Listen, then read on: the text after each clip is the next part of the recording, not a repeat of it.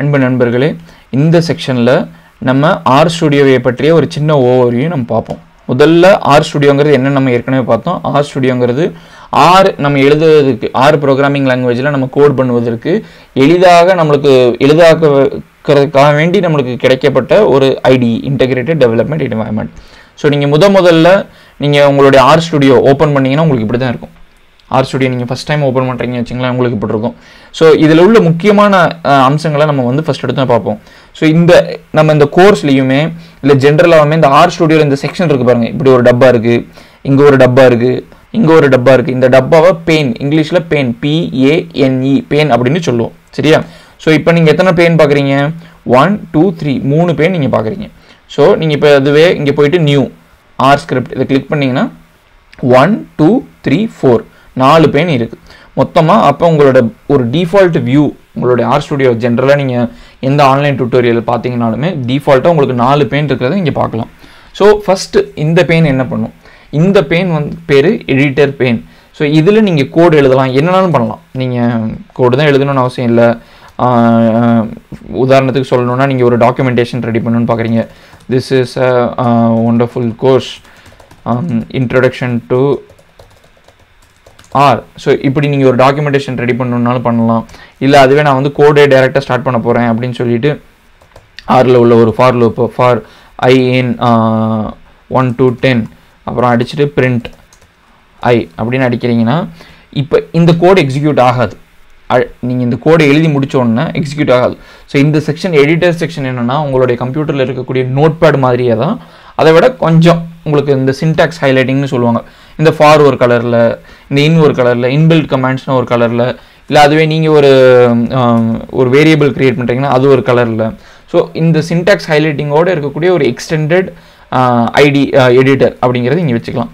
So அப்போ இந்த எடிட்டரோட use என்ன அப்படின்னு பார்த்தோம்னா நம்ம கோடு வந்து ஒரு பெரிய ப்ராஜெக்ட் எழுதுறீங்கன்னா அந்த கோடை வந்து நீங்கள் இதில் எழுதிக்குவீங்க. இப்போ இந்த கோடை எக்ஸிக்யூட் பண்ணணும்னு என்ன பண்ணணும்? பல வழிகள் இருக்குது. நம்ம ஒவ்வொரு சின்ன சின்ன முக்கியமான வழிகளை பார்ப்போம்.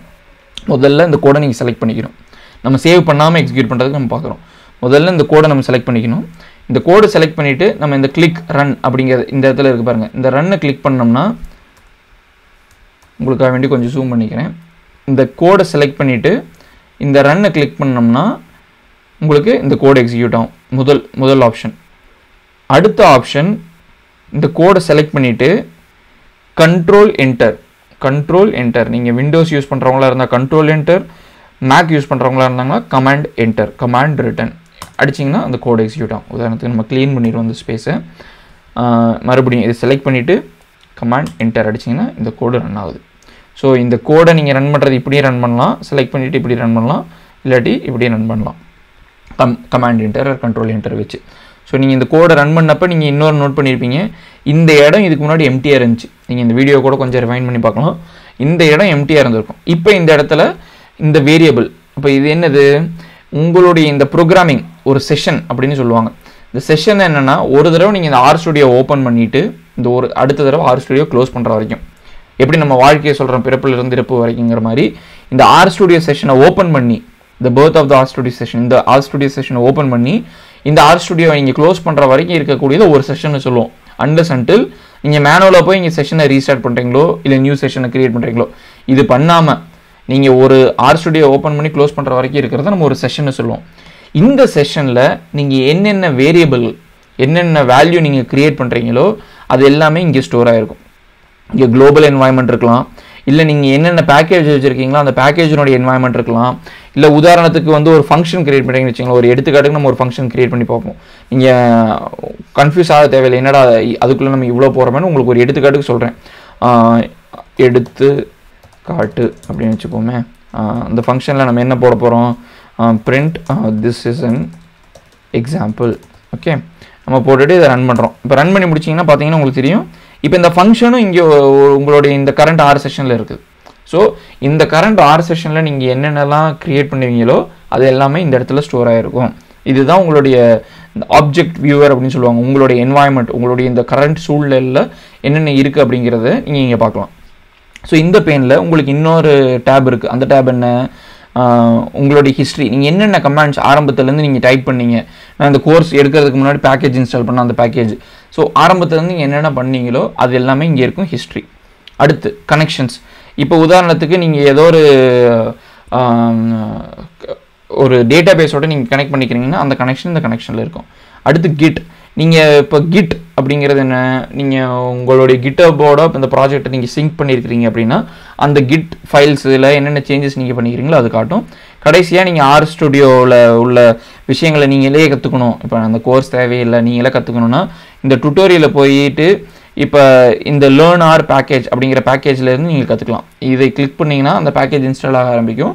அது இன்ஸ்டால் பண்ண பிறகு நீங்களே கற்றுக்கலாம் நீங்கள் இந்த கோர்ஸ் முடித்த பிறகுமே உங்களுக்கு இன்னும் அதிகமாக ரிவைஸ் பண்ணணும் அதிகமாக நீங்கள் படிச்சுக்கணுன்னா நீங்கள் இங்கே போயிட்டு இந்த டுட்டோரியலில் போயிட்டு இங்கே கிளிக் பண்ணி நீங்கள் கற்றுக்கக்கூடியவங்களாக இருக்கலாம். ஸோ இதுதான் இந்த பெயின் ஸோ இந்த பெயின் என்ன? ஃபஸ்ட் எடுத்தோன்னா கான்சோல் கான்சோலுங்கிற இடத்துல தான் நீங்கள் ஆறு உடைய அந்த கமாண்டுகளை நீங்கள் என்டர் பண்ணுறீங்க ஸோ நீங்கள் இங்கே செலக்ட் பண்ணிவிட்டு இந்த எடிட்டரில் செலக்ட் பண்ணிவிட்டு ரன் பண்ணினீங்கன்னா கூட உங்களுக்கு பார்த்தீங்கன்னா தெரியும். இங்கே வந்து அந்த கோடை பேஸ்ட் பண்ணி அதுவே ரன் பண்ணும். ஸோ அப்படி நீங்கள் பண்ணலாம். இல்லை டைரெக்டாகவே இங்கேயே வந்து நீங்கள் கோட் ரன் பண்ணலாம். ஃபார் எக்ஸாம்பிள் நீங்கள் வந்து for i in one is two two நீங்கள் பிரிண்டில் திஸ் இஸ் அன் எக்ஸ்பெரிமெண்ட் அப்படின்னு போட்டு ரன் பண்ணிங்கன்னா உங்களுக்கு அதுவும் ரன் ஆகும். ஸோ இதில் உங்களுக்கு டிஸ்அட்வான்டேஜ் என்னென்னா இந்த கோடு இப்போ நீங்கள் நிறைய இப்போ டைப் பண்ணுறீங்கன்னு வச்சுங்களேன். இப்போ நீங்கள் டைப் பண்ணிட்டே போகிறீங்கன்னா அந்த கோடு இப்போ உங்களுக்கு மிஸ் ஆயிரும். நீங்கள் அப்புறம் அந்த க்ரௌடை போய் தனியாக நீங்கள் ஹிஸ்ட்ரியில் போய் எடுத்துக்கிட்டு இருக்கணும். இந்த மாதிரி சிரமப்படாமல் இருக்கணும்னா உங்களுக்கு எந்த கோடு நீங்கள் பெர்மனெண்ட்டாக தேவைன்னு நினைக்கிறீங்களோ உங்களுக்கு அது நிரந்தரமாக வேணும்னு நினைக்கிறீங்களோ அதை எடிட்டரில் டைப் பண்ணீங்க. நீங்கள் டெம்பரவரியாக ஏதோ ஒன்று ட்ரை பண்ணுறீங்க உதாரணத்துக்கு நான் பிரிண்ட் அப்படின்னு போட்டு ஒரு ஸ்லாஷ் போட்டோன்னா என்ன நடக்கும்னு எனக்கு தெரியாது. அப்படின்னா நீங்கள் இங்கே ரன் பண்ணலாம். இதை ரன் பண்ணிவிட்டு இதை காப்பி பண்ணிட்டு நீங்கள் இந்த இடத்துல போட்டு வச்சுக்கலாம். ஸோ உங்களுக்கு ஒரு சாம்பிளுக்கு நீங்கள் ரன் பண்ணுறத வந்து அங்கே ரன் பண்ணிவிட்டு பெர்மனெண்ட்டாக வேணுங்கிறத ரன் பண்ணி முடிச்சோன்னு நீங்கள் காப்பி பண்ணி பேஸ்ட் பண்ணிக்கலாம். இதுதான் கான்சோல் டெர்மினலுங்கிறது என்ன? டெர்மினலுங்கிறது உங்களுடைய லோக்கல் கம்ப்யூட்டர் மிஷினில் நீங்கள் விண்டோஸ் யூஸ் பண்ணுறவங்களா இருந்தாங்கன்னா உங்களுக்கு கமெண்ட் ப்ரோம்ட் இருக்கும். மேக் யூஸ் பண்ணுறவங்களா இருந்தாங்கன்னா உங்களுக்கு டெர்மினல்னு இருக்கும்.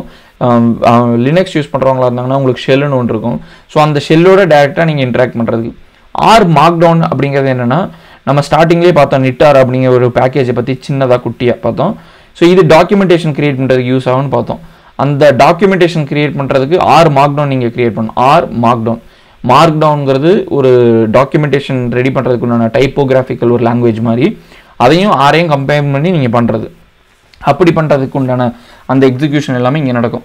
கடைசியாக இந்த ஜாப்ஸ் ஜாப்ஸுங்கிறது என்னென்னா இப்போ ஆறில் நீங்கள் ஒரு கோடு எக்ஸிக்யூட் பண்ணுறீங்க அப்படின்ட்டா அந்த கோடு எக்ஸிக்யூட் ஆகி முடியிற வரைக்கும் உங்களால் எதுவுமே பண்ண முடியாது. நீங்கள் நீங்கள் இப்போ உதாரணத்துக்கு நான் ஒன் தௌசண்ட் டென் தௌசண்ட் அந்த மாதிரி நான் பிரிண்ட் பண்ணுறேன்னு வச்சுங்களேன் இது நடந்து முடிகிற வரைக்கும் நான் எதுவுமே பண்ண முடியாது. ஆனால் அதுக்கு ஒரு இப்போ எனக்கு இந்த வேலை நடக்கிற வரைக்கும் நான் வெயிட் பண்ணணுங்கிற அவசியம் எனக்கு வேணாட்டி நான் அதை ஒரு ஜாபாக ஷெட்யூல் பண்ணிடலாம். நான் ஒரு லோக்கல் ஜாபாக ஷெட்யூல் பண்ணிவிட்டு நான் அதுக்கு மேலே வந்து நான் மற்ற மற்ற சைடு வேலைகளை நம்ம பார்க்கலாம். ஸோ இப்போ இந்த கோ இந்த கோர்ஸில் நம்ம இந்த ஜாப்பு இதெல்லாம் நம்ம பார்க்க போகிறது கிடையாது.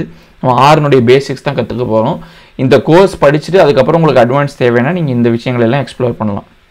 கடைசியாக இந்த ஃபைனல் பேனில் என்ன இருக்குன்னு பார்த்தீங்கன்னா ஃபைல்ஸ் உங்களுடைய கரண்ட் ஒர்க்கிங் டிரெக்டரி அப்படின்னா கரண்ட் ஒர்க்கிங் டிரெக்டரி அப்படின்னா இந்த ஆறு செஷன் உங்களுடைய கம்ப்யூட்டரில் எந்த ஃபோல்டரை பாயிண்ட் பண்ணுது அப்படிங்கிறது தான் கரண்ட் ஒர்க்கிங் டிரெக்டரி ஸோ அந்த கரண்ட் ஒர்க்கிங் டிரெக்டரிக்குள்ளே இருக்கக்கூடிய இந்த கண்டென்ட்ஸை வந்து நீங்கள் ஃபைல் கண்டென்ட்ஸை வந்து நீங்கள் பார்க்கலாம்.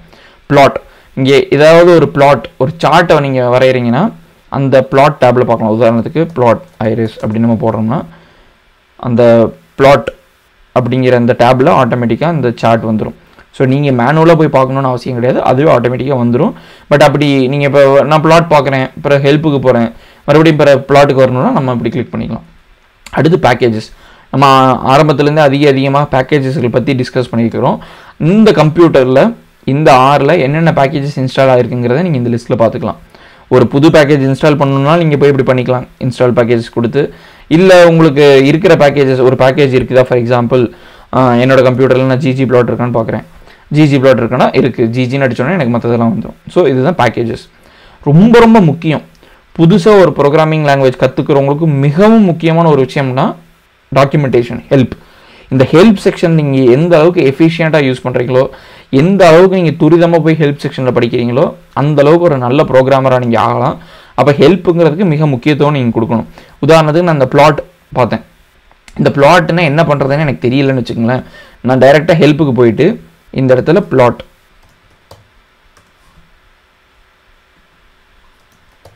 பிளாட் இந்த இடத்துல. பிளாட் நடிச்சுன்னா இங்கே பிளாட்டுங்கிறதெல்லாம் எங்கே இங்கெல்லாம் யூஸ் ஆகிருக்கோ அங்கே இங்கெல்லாம் வந்துடும் அந்த லிஸ்ட்டில் அப்போ நம்ம அதுக்கு தகுந்த மாதிரி நீங்கள் கிளிக் பண்ணி போய்க்கலாம். அது ஒரு வழி. இன்னொரு வழி இந்த பிளாட்னு ஒரு இது ஃபங்க்ஷன் இருக்குது இதை ஃபங்க்ஷன் நம்ம சொல்லுவோம். அப்படிங்கிறது என்னங்கிறத நம்ம பின்னாடி பார்ப்போம்.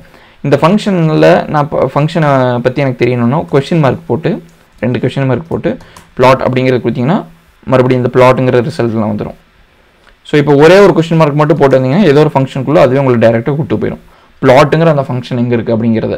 ரெண்டு கொஷின் மார்க் போட்டிங்கன்னா எல்லா பேக்கேஜ்லேயுமே பிளாட்டுங்கிற வார்த்தை எங்கெங்கே வருது உங்களை கொண்டு போயிடும் ஒரு ஒரு கொஸ்டின் மார்க் போட்டிங்கன்னா இந்த பிளாட்டுங்கிற அந்த டாபிக் எந்தெந்த பேக்கேஜில் இருக்குதோ அந்த இடத்துக்கு உங்களுக்கு கூப்பிட்டு போயிடும் ஸோ நம்ம அப்புறம் பார்த்துக்கலாம். ஓகே பிளாட்டு எக்ஸ் போடணும் ஒய் போடணும் இந்த யூசேஜ் அப்புறம் நம்ம எக்ஸாம்பிள் கடைசி கடைசியாக போயிட்டு.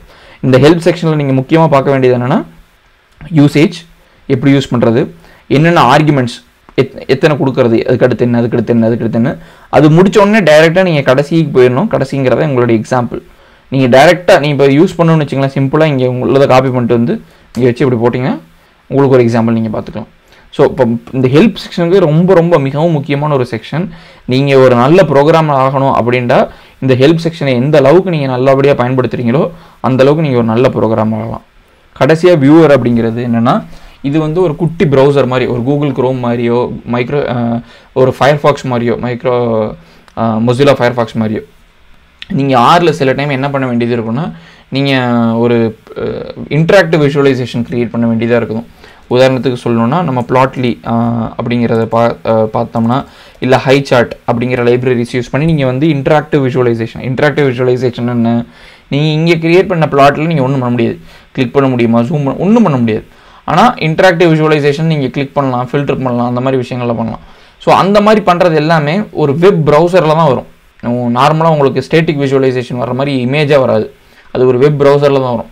அதனால் ஆர் ஸ்டுடியோக்காரவங்க என்ன பண்ணியிருக்காங்கன்னா இதுக்குள்ளேயே ஒரு குட்டி வெப் ப்ரௌசர் வச்சு கொடுத்துருக்குறாங்க நம்மளுக்கு. அதுதான் இந்த viewer so editor pane console terminal R markdown jobs environment நம்மளுடைய வேரியபிள் எல்லாமே இங்கே ஸ்டோர் ஆகிருக்கும் பார்க்கலாம். இப்போ பார்த்தீங்கன்னா நம்ம இன்னும் எக்ஸ்ட்ரா எக்ஸ்ட்ரா வேரியபிள் கிரியேட் பண்ணோம். அது எல்லாமே இங்கே வந்திருக்கு. ஹிஸ்ட்ரி கனெக்ஷன்ஸு கிட்டு நீங்கள் ஆர் அதிகமாக படிக்கணும்னு டுட்டோரியல் ஃபைல்ஸ் உங்களுடைய கரண்ட் ஒர்க்கிங் டைரக்டர் இருக்கக்கூடிய ஃபைல்ஸ் நீங்கள் ஏதாவது பிளாட் கிரியேட் பண்ணிங்கன்னா அந்த பிளாட்டு என்னென்ன ப்ளா பேக்கேஜஸ் இன்ஸ்டால் பண்ணிக்கிறீங்களோ இல்லை ஏதாவது நீங்கள் அன்இன்ஸ்டால் பண்ணோம்னா அது இங்கே அடுத்து ரொம்ப மிக முக்கியமான செக்ஷன் மறுபடியும் நான் சொல்கிறேன் மிக முக்கியமான செக்ஷன் தான் ஹெல்ப் செக்ஷன் யாருடைய தேவையுமே இல்லாமல் உங்களுடைய ஆறு ஸ்கில்ஸை நீங்கள் இன்னும் அதிகப்படுத்தணும் இந்த கோர்ஸ் படித்து முடிச்ச பிறகுனா வெறுமனே நீங்கள் தினம் போய் ஹெல்ப் செக்ஷனை வாசிச்சிங்கனாலே உங்களுக்கு உங்களுடைய அறிவு மற்ற மற்ற ப்ரோக்ராம்கள் இந்த கோர்ஸ் எடுக்கக்கூடிய என்னை காட்டிலும் உங்களுடைய அறிவு அதிகமாயிரும். ஹெல்ப் செக்ஷனுக்கு அந்தளவுக்கு ஒரு முக்கியத்துவம் நீங்கள் கொடுக்கணும். ஸோ இதுதான் இந்த ஃபோர் பெயின்ஸ் இப்போ நம்ம குயிக்காக போயிட்டு மேலே உள்ள செட்டிங்ஸ் நம்ம பார்க்கலாம். அது உங்களுக்கு இந்த கரண்ட் கோர்ஸுக்கு ரொம்ப உங்களுக்கு அவசியம் இருக்காது. அதனால் உங்களுக்கு உங்களுடைய டைம் அதிகமாக வேஸ்ட் பண்ணாமல் இருக்கணுங்கிறதுக்காக வேண்டி நம்ம அடுத்த செக்ஷனுக்கு போவோம். குயிக்காக நீங்கள் பார்க்கணுன்னா நீங்கள் உதாரணத்துக்கு மேலே நீங்கள் ஃபைல் பார்க்கலாம். அடுத்து எடிட் கோட் இதெல்லாம் பார்ப்பீங்க. நீங்கள் அது எல்லாமே உங்களுக்கு ஜ நார்மலாக உங்களுடைய ஒரு வேர்டு ப்ராசஸரில் இருக்கிற மாதிரி மைக்ரோசாஃப்ட் வேர்டு மாதிரி இருக்கிற மாதிரியான விஷயங்கள் தான் நீங்கள் பார்ப்பீங்க. ஸோ ரொம்ப முக்கியமான விஷயம் வேறு எதுவும் கிடையாது. ஸோ நீங்கள் டைரெக்டாக இப்போ இதை மட்டும் தெரிஞ்சுக்கிட்டு இதுக்கப்புறம் நம்ம டைரெக்டாக பேசிக்ஸ் ஆஃப் ஆர் ப்ரோக்ராமிங் நம்ம பார்க்க வந்து நம்ம ஸ்டார்ட் பண்ணிடலாம் அடுத்த செக்ஷனில் இருந்து.